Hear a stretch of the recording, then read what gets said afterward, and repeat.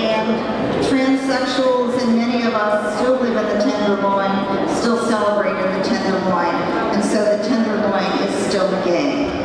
I came here because I thought this was a just and fair city for people like me.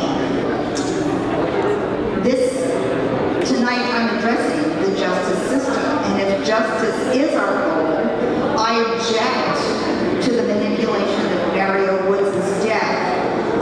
justify the introduction of tasers into the law enforcement community of San Francisco.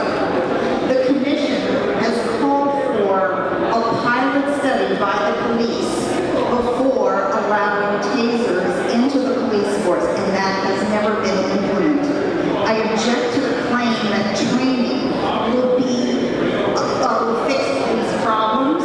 It hasn't yet, and the training that has taken place so far is minimal, so why should I have faith in the training that is promised? I object to the excessive use of force by the San Francisco Police Department against young adults and youth of color in particular.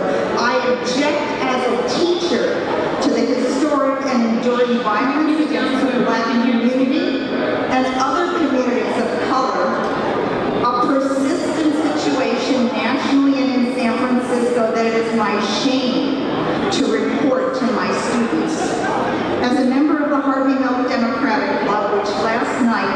Joined the Justice for Mario Woods Coalition, I object to the lack of justice for Mario Woods and his